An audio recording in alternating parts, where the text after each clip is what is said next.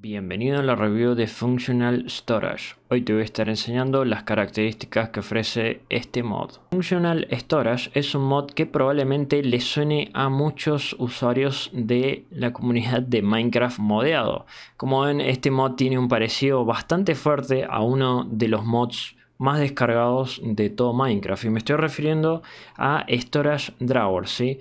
No es mi idea comparar ese mod con este otro mod que estoy mostrando en este video, pero bueno, sé que muchas personas van a encontrar el parecido instantáneamente y eh, se van a dar cuenta que este mod tiene características que a lo mejor Storage Drawers no tiene y asimismo van a encontrar que Storage Drawer tiene características que este mod no tiene. Como ya digo, no es una idea, no es la idea comparar, mi idea es mostrarles este mod que la verdad es como un lavado de cara del famoso Storage Drawer y es una nueva alternativa que van a ver que está bastante bien y que tiene características muy muy interesantes.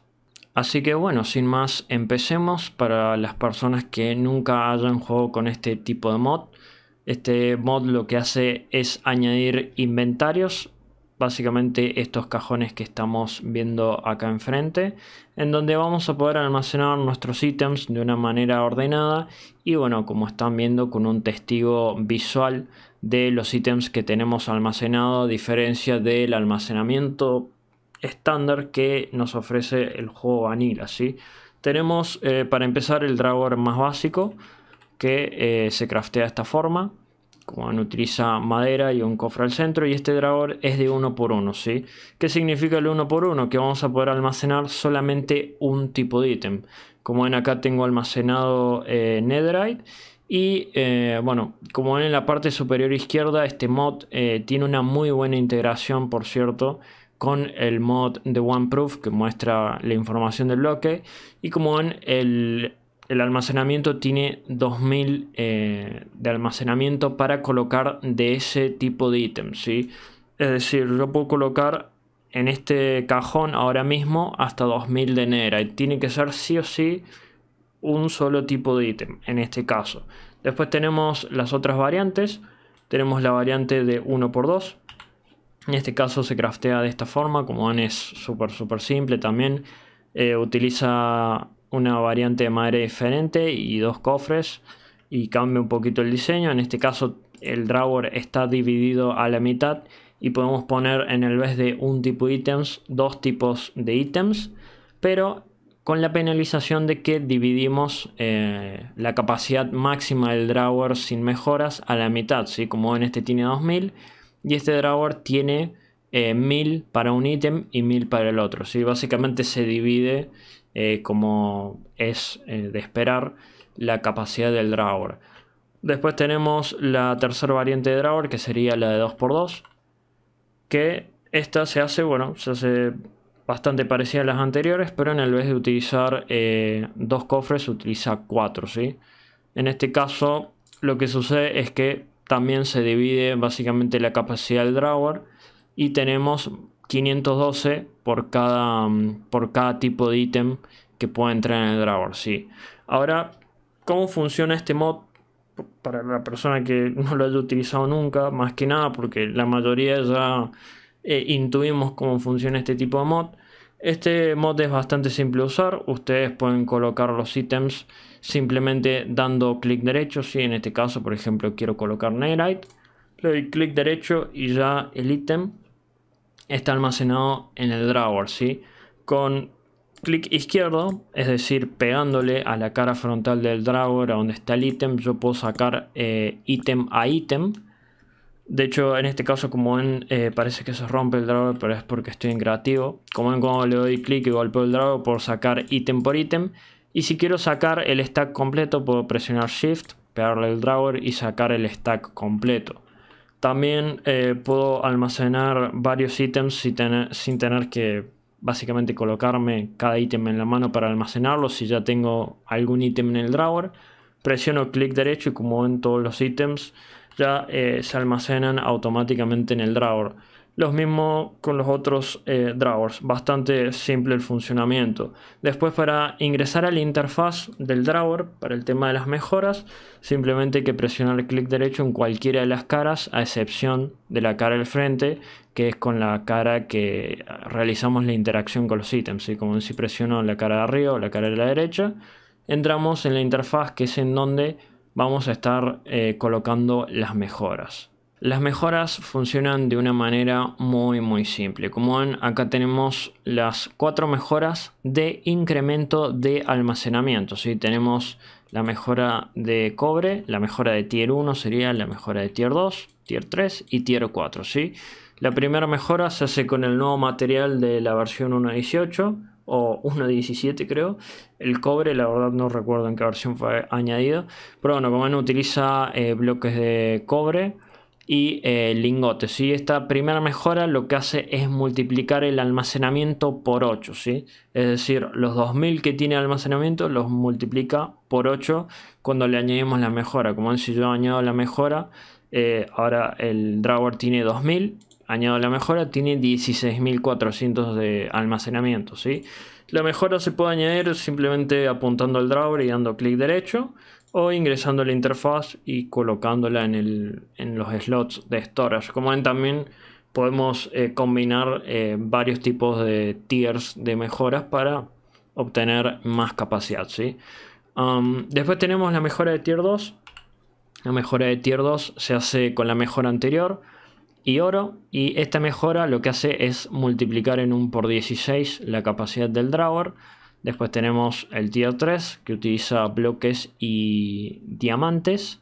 Esta mejora ya es bastante cara, pero es un multiplicador por 24. Y por último tenemos la mejora de Netherite, que eh, se hace utilizando la mejora de diamante en una smithing table. Y nos da un por 32 de almacenamiento, lo cual sería una cantidad de 65.500 ítems, con tan solo una mejora de eh, las cuatro que podemos colocar. Así que ya se estarán imaginando la, capacidad que podríamos alcanzar con cuatro de estas mejoras. Por último tenemos la Iron Downgrade, que esta mejora funciona de manera inversa a las mejoras que acabamos de ver. Lo que hace esta mejora es reducir la capacidad de nuestro drawer. Y se estarán preguntando, ¿para qué quiero yo reducir la capacidad de mi drawer. Seguramente la persona que no haya jugado mucho con este tipo de mods eh, no le encuentra sentido a este tipo de mejora, pero la realidad es que es una mejora que se utiliza un montón, sobre todo cuando están jugando en un modpack o con varios mods. Eh, es una mejora que se utiliza mucho ya que el drawer por defecto eh, trae 2000 de almacenamiento de ítems y esta mejora lo que hace es reducir básicamente Em, la capacidad de drawer a solamente un stack. Como ven cuando aplico la mejora, solamente tengo capacidad para colocar un stack. Es decir, si yo ahora quiero colocar, por ejemplo, más de un stack de Netherite, ya no puedo agregar más. Esto se utiliza muchas veces eh, para hacer el drawer, eh, para hacer que el drawer funcione como buffer. Si Un buffer sería un espacio en donde vamos a colocar ítems que vamos a manipular. Si han jugado en modpacks, eh, me van a entender eh, fácilmente porque este, este tipo de mejoras se suele utilizar, por ejemplo, cuando uno tiene una máquina y coloca el drawer arriba de la máquina para que la máquina almacene el ítem. Lo que hace es simplemente colocarle esta mejora para que el drawer cuando llegue a 64 de lo que está produciendo la máquina, la máquina eh, lógicamente se frene porque se llenó el drawer y no siga, por ejemplo, consumiendo energía o consumiendo recursos. ¿sí? Eh, tiene mucho sentido cuando se juega con mods. Como ya dije, parece una mejora que no tiene mucho sentido, pero eh, es una mejora que es crucial en este tipo de mod. Por otro lado, este mod nos va a añadir un conjunto de mejoras que nos va a permitir interactuar con nuestro inventario, con nuestro drawer. ¿sí? Tenemos para empezar la Collector Upgrade que se craftea de esta forma. Como ven es bastante simple de craftear esta mejora y lo que nos va a permitir es absorber ítems por alguna de las caras de nuestro drawer. ¿sí? ¿Cómo se configura esta mejora? Simplemente se le da clic derecho cuando la tenemos en el inventario, cuando está colocada en el drawer y como nos permite especificar la cara por la que queremos que entren los ítems. Por ejemplo, si yo elijo la parte de arriba y ahora coloco la mejora en el drawer, que también bueno, podemos entrar en interfaz y colocarla, y dropeo algún tipo de ítem, por ejemplo diamantes, dropeo diamantes por la parte de arriba del drawer, lo que va a suceder es que el drawer eh, va a recibir los ítems por la parte de arriba como si tuviese una especie de hopper, ¿sí? gracias a esta mejora. Sí o sí tiene que ser por la cara especificada, como si yo dropeo por el lado derecho, eh, no va a funcionar, ¿sí? hay que entrar y cambiar básicamente el facing, en este caso sería west para el lado derecho, si no me equivoco, y como ven, eh, la mejora se va a encargar de ingresar los ítems. La verdad que una mejora súper simple y fácil de utilizar. Después tenemos la Puller Upgrade, y la Pusher Upgrade. La Puller Upgrade se craftea de esta manera y lo que va a hacer es absorber ítems de un inventario, ¿sí? En este caso vamos a colocarla a la Puller Upgrade y le vamos a decir que absorba ítems desde el lado derecho, ¿sí? En este caso West y vamos a colocar, por ejemplo, eh, un cofre, ¿sí? Un inventario cualquiera. Vamos a colocar un cofre y vamos a colocar, eh, por ejemplo, no sé, amatistas. Y lo que va a suceder es que va a empezar a sacar los ítems de este inventario y los va a colocar eh, lógicamente en el espacio libre que tenga el drawer, ¿sí? Y si tiene ya de este ítem y coloco más, por ejemplo coloco más amatistas, lo que va a hacer es de manera ordenada colocarlas en el slot que ya había amatistas, ¿sí? Después tenemos, bueno, la pusher upgrade, que ya se estarán imaginando que sería lo inverso a la mejora anterior, como en crafteo bastante parecido y simple. Y lo que hace es empujar los ítems hacia un inventario especificado, hacia un lado en donde haya un inventario, bueno, un lugar en donde queramos pasar los ítems. Como ven voy a colocar la upgrade. Ya vamos a dar para que expulse los ítems hacia arriba y si yo ahora coloco un inventario en la parte superior, lo que va a suceder es que va a empezar a transferir los ítems. y Va a transferir los diamantes primero y después va a transferir las amatistas. Como ven son mejoras súper simples y fácil de utilizar y es la verdad que un concepto bastante interesante para usar con este tipo de inventario, sobre todo cuando estamos hablando eh, de automatizaciones y esas cosas. ¿sí? por último tenemos eh, la mejora de Void o bueno, mejora de, vacío sería. Esta mejora de vacío lo que nos va a permitir es desechar el remanente de ítems, el sobrante de ítems. Esta mejora no elimina ítems, ¿sí? porque eh, hay mucha gente que ve esta mejora y lo que piensa es que la mejora elimina automáticamente los ítems. Y sí, elimina ítems, pero elimina los ítems sobrantes. En este caso yo les voy a mostrar con una mejora de con una downgrade para que se entienda. Supongamos que tenemos este drawer, sí, este drawer puede almacenar solamente 64 eh, diamantes. Y um, básicamente si nosotros colocamos la mejora de Void, lo que va a hacer la mejora es eliminar los eh, ítems que ya no pueden entrar en este drawer, ¿sí? Entonces si yo ahora por ejemplo tengo diamantes y los quiero agregar como ya está ocupado al máximo, como ven cuando los agrego esos diamantes son eliminados y si yo no tuviese la mejora los diamantes simplemente los mantengo y no los puedo ingresar en el drawer. Ahora, ¿cuál es la funcionalidad de esto? Lógicamente tiene que ver con el tema de la automatización. Porque, bueno, supongamos que tenemos el hipotético caso en donde, no sé, estamos ingresando eh, con una tubería ítems eh, a nuestro drawer.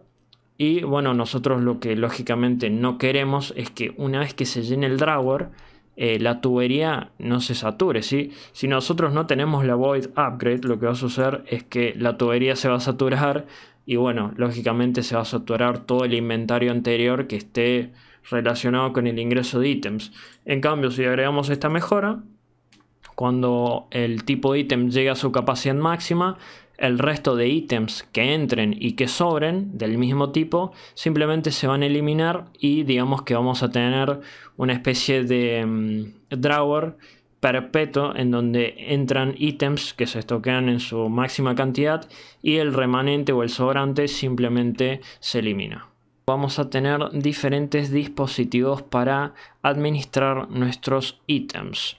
Como ven acá tengo un Storage Controller que es un bloque muy muy importante, eh, tiene un uso bastante relevante en este mod.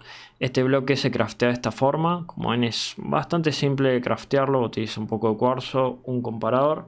Y este bloque lo que nos va a permitir es reconocer todos los inventarios que estén pegados o conectados a este bloque. Así como ven acá yo tengo drawers con diferentes cosas. Tengo inclusive este drawer de acá que es muy interesante, que es el compacting drawer, que se craftea de esta forma.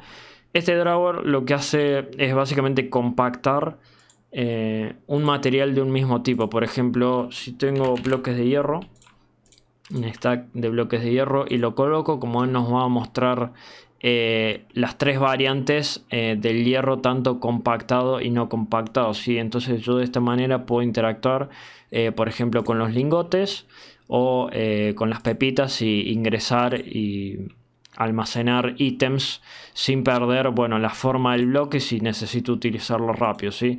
obviamente depende del tipo de bloque que coloquemos acá si yo coloco por ejemplo el bloque de mm, de cobre, que si no me equivoco no tiene pepitas, solamente vamos a tener eh, el compactado del bloque y el descompactado del lingote de cobre. ¿sí? Depende siempre del material que coloquemos, pero es, es un drawer que es bastante, bastante mm, útil en ciertos casos. Volviendo al controlador, lo que hace el controlador es linkear todos estos drawers para poder interactuar con los mismos de una manera mucho más rápida. Este mm, controlador necesita ser configurado para decirle con qué drawers va a estar vinculado. ¿sí? Ahí es cuando entra en juego la linking tool, que es esta herramientita de acá, que se craftea de esta forma. ¿sí? Esta herramienta se utiliza también para un drawer que vamos a ver probablemente en breves. Esta linking tool se utiliza de la siguiente forma, le dan clic derecho al controlador, al storage controller, y simplemente eh, seleccionan eh, los drawers que quieren que estén vinculados a este mm, controlador. ¿sí? Es muy importante obviamente que los drawers estén pegados uno al lado del otro. Pueden estar en cualquier orden realmente, pero siempre tienen que uno, un drawer mínimo, tiene que estar pegado al controlador. ¿sí? Ahora, ¿cuál es la ventaja de este bloque y por qué nos interesa tener eh, linkeado el controlador a este tipo de drawer? Una función principal es que como están todos linkeados estos drawers, ahora yo voy a poder, por ejemplo, ingresar eh, ítems y los ítems van a entrar de manera ordenada. Si por ejemplo, si quiero ingresar eh, esmeraldas y yo que sé, diamantes, lo que va a suceder es que si conecto el hopper acá y coloco las esmeraldas y los diamantes, como en las esmeraldas van a entrar en donde tienen que entrar y los diamantes van a entrar en donde tienen que entrar también, ¿sí? Y eh, no importa, digamos, em, la distancia a la que esté el drawer. ¿sí? Siempre y cuando el drawer esté conectado y linkeado a este controlador, vamos a poder ingresar, inclusive sacar ítems también. Si yo, por ejemplo, ahora quiero agregar, no sé, amatistas eh, y, no sé, oro, lo que puedo hacer es hacer clic derecho en el controlador y como en los ítems automáticamente se almacenaron ya en el drawer, y lo que hice yo fue simplemente interactuar con el controlador en el vez de interactuar directamente con el drawer. Este bloque es sumamente importante y es muy muy potente, sobre todo cuando em, lo estamos utilizando con otro mod. Como en acá yo tengo un terminal de Applet Energistics y si nosotros por ejemplo utilizamos un Storage Bus, lo que vamos a poder hacer es básicamente eh, reconocer bueno, este mod, eh, para los que no hayan jugado nunca, tiene este bloque que es un Storage Bus que te permite reconocer los inventarios. ¿sí? Entonces, lo que yo puedo hacer es reconocer directamente el controlador y tener acceso a todos los drawers y todos los ítems que estén conectados a este controlador. Como bueno, ahora yo entro acá y puedo interactuar básicamente con los ítems desde un terminal sin tener que interactuar directamente con los drawers y eh, solamente por tener conectado este sistemita que bueno el mod puede variar puede ser también refined storage y como ven eh, es una integración que está genial y es súper súper útil. Después tenemos otra herramientita que es el configuration tool este configuration tool se hace de esta forma y tiene varios modos y como presionamos shift click como ven va intercambiando entre modos y esto nos permite básicamente modificar eh, características de los drawers. Por ejemplo este nos permite eh, básicamente mostrar o no las cantidades de los drawers como ven ahí se quitan o no se quitan los números. Después tenemos el modo que nos permite ocultar el renderizado de los ítems esto más que nada por si genera algún tipo de problema a nivel eh, fotogramas o lag de servidor. Es una herramienta que es muy útil, pueden sacar los ítems y eso. O sobre todo pueden sacarlo para que no genere algún tipo de lag si es que el drawer está en un lugar que no es visible. Después tenemos el modo mostrar o no las upgrades. En el caso de tener upgrades, por ejemplo, si colocamos, no sé, la upgrade de diamante, como en la upgrade se ve representada en la parte inferior izquierda. Como si le doy clic ahora con este modo, quitamos el básicamente el testigo visual que muestra la upgrade, ¿sí? Por último tenemos el locking mode, que es el modo de bloqueo, que como ven añade un, un candadito. Y este modo de bloqueo es muy muy importante y se suele utilizar bastante seguido ya que al bloquear el drawer lo que hacemos es em, básicamente restringir a que solamente entre ese tipo de ítems, ¿sí? Es decir, si yo por ejemplo en este drawer quiero almacenar solamente tres ítems, por ejemplo, yo quiero tener un drawer que solamente almacene tres ítems. Eh, no hay drawer de tres ítems, pero está el drawer de cuatro tipos de ítems, que sería este el 2x2. Lo que puedo hacer es básicamente eh, sacar el ítem, bueno, sacar lógicamente el diamante, que acá en este caso quedó bloqueado, bloquearlo y lo que va a suceder es que ahora tengo un drawer en donde solamente van a entrar tres ítems. Si yo quiero ingresar ítems eh, ahora eh, mediante, por ejemplo, una interfaz o una tubería, en este espacio que no tiene nada, no va a entrar nada porque el drawer está bloqueado. ¿sí? Entonces es una herramienta que como ven es bastante útil y en cuestiones de características la verdad que el mod tiene, tiene funciones que no se quedan atrás comparado con otros mods. Último tenemos la variante de Ender Drawer. Esta variante de Drawer, como el nombre lo dice, nos va a permitir básicamente interactuar con un drawer y ver los cambios reflejados en el otro drawer esté colocado en donde esté colocado ¿sí? esto significa que bueno vamos a poder interactuar eh, inclusive de manera interdimensional con estos drawers y ya se estarán imaginando las cosas que se pueden hacer sumado a las mejoras que se pueden colocar. Y ya ni hablemos si utilizamos algún sistemita para reconocer los ítems como les mostré anteriormente. Para poder utilizar estos drawers tenemos que linkearlos. Eso se hace con la linking tool simplemente dan shift clic izquierdo en el primer drawer y shift clic derecho en el segundo drawer y ya básicamente están linkeados ¿sí? como si yo ahora coloco algún ítem eh, básicamente los ítems que tiene colocado dentro de este drawer se ven prácticamente reflejados de manera instantánea y bueno, esto es todo lo que nos ofrece el mod Functional Storage. La verdad que es un mod súper fácil de utilizar, súper fácil de entender y la verdad que es una excelente alternativa al mod que ya todos conocemos. Como siempre les digo, espero que este video les haya sido útil y muchas gracias por verlo.